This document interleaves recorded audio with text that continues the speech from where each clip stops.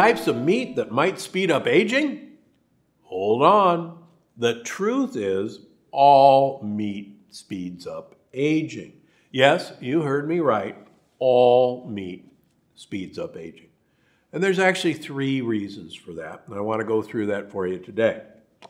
First of all,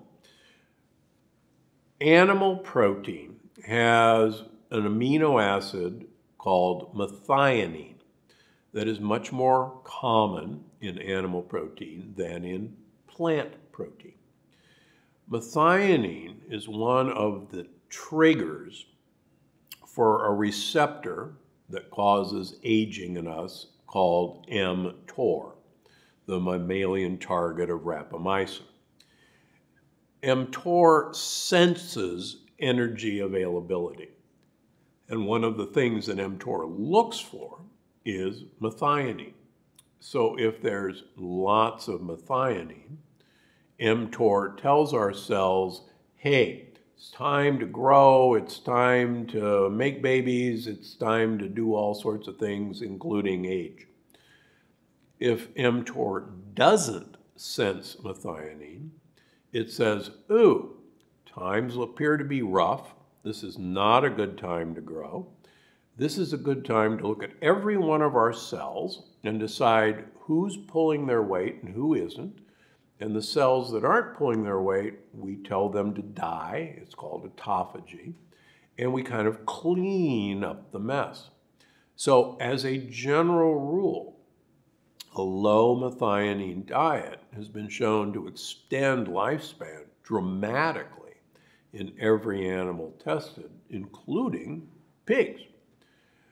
Now, there's one interesting little caveat, and I don't want you to focus on this, but there's an, another amino acid called glycine. And glycine appears to give a benefit of tolerating methionine in not activating mTOR. But adding several grams of glycine a day to your diet may help protect against a high methionine diet from animal protein. that's number one, methionine in animal protein. Number two, you've heard me write and talk about a compound called TMAO, which is produced by bacteria from animal protein and animal fats in our diet. And according to research, particularly from the Cleveland Clinic, TMAO can damage blood vessels, can damage kidneys, and now there's evidence that it can damage the brain. We know that vegetarians and vegans have very little TMAO in their bloodstream. And I measure TMAO in all my patients. Interestingly, there are some species of fish and shellfish that have preformed TMAO in their flesh. And so TMAO from animal protein and fat can also be from fish, can in fact damage blood vessels. So that's number two reason to avoid animal protein and fats. Number three, red meat, by that I mean beef, lamb, and pork, have a sugar molecule in their flesh, in their blood vessels, called Neu5Gc. Humans have a sugar molecule lining our blood vessels called Neu5Ac. Fish and chicken have Neu5Ac.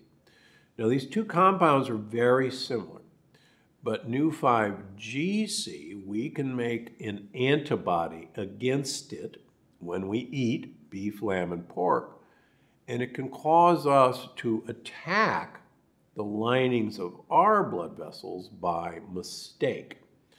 And so, one of the theories of why eating red meat increases the risk of heart disease is this Neu5Gc. Now, the other thing that's scary to me is we know that tumors can avoid detection by the immune system by wrapping themselves in new 5GC. And since we don't have the ability to manufacture Neu5Gc, nor do our cancer cells, the Neu5Gc has to come from our diet.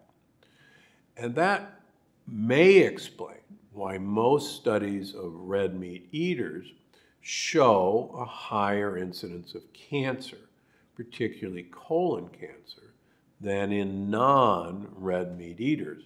And it's this new 5GC cloaking ability. Now, how strong are each of these? That's for you to decide. Does that mean we should never eat any animal product? I don't think so. I eat animal products. I personally consider myself a veg aquarian. That means I eat mostly vegetables and nuts, but I supplement my diet, particularly on the weekends, with wild shellfish and wild fish. And that, for me, works out very well. Do I ever have beef? Yes, I will have a six ounce grass fed, grass finished filet about once every three months, quite frankly. Uh, I almost never eat pork. Um, lamb is very rare. Uh, do I have pastured chicken? Yes, I do have pastured chicken, but again, it's a treat rather than a staple in, in the diet. So all of these factors make up the reasons why animal protein should be not the king of your plate, but should be something way down the list. You know, as a society, we've become obsessed with protein. But the truth is, really, not only should we lessen our animal protein, but we actually need very little protein in our diet in general. Now, why is that? Well, we're actually very thrifty creatures. We're very efficient. And every day, we slough the lining of our intestines into the lumen of our intestines, and that lining is protein. So every day, 20 to 30 grams of protein is recycled.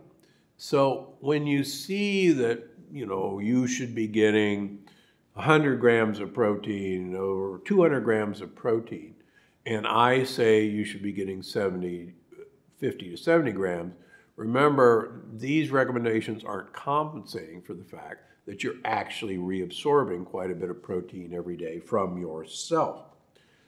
The other thing that's important to realize is that even my friend Dr. Walter Longo thinks that as we get older, we should add more protein into our diet because somehow, magically and mystically, we need more protein as we get older. Well, what I found from my research is that we don't need more protein in our diet. We need to repair the wall of our gut. And that way we will absorb the protein that's already in our diet most of us damage the wall of our gut progressively as we get older from the foods we eat, particularly from lectin containing foods. And I've now had thousands of patients who have had low protein levels, low albumin levels, which is the most prevalent protein in our blood. When we put them on a limited protein diet, but on a lectin free or lectin light diet, miraculously, their protein levels go up in their bloodstream despite eating less protein. Why? Because now we've repaired the wall of the gut, and now we have a big absorptive area to absorb protein. And I think that explains why Dr. Longo and others think we need more protein as we get older. But in fact, the fact that we need apparently more protein is actually scary that we're damaging the wall of your, our gut. And as you learned in the longevity paradox, our longevity is tied to the intactness of the wall of our gut.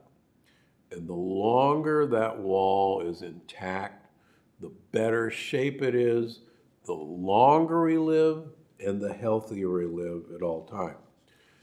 Lastly, uh, I turned 72 um, this month, and I'm always reminded that Dr. Atkins, the father of the high protein diet, uh, died uh, at this age, and always remember that Dr. Atkins died an obese man. So protein is not the panacea for a long life. And just to remind you, there is no evidence of a long-lived society that eats a high protein diet. None. Almost all long-lived societies, one of the universal factors in their diet is that they eat a remarkably low protein diet, low animal protein diet. So next time you're thinking, I need to get more protein in my diet, think again and think about where you want to get your protein from. I think you're going to love this one. There's evidence that we should vary our food and we should vary the amount of food and the types of food we eat from season to season.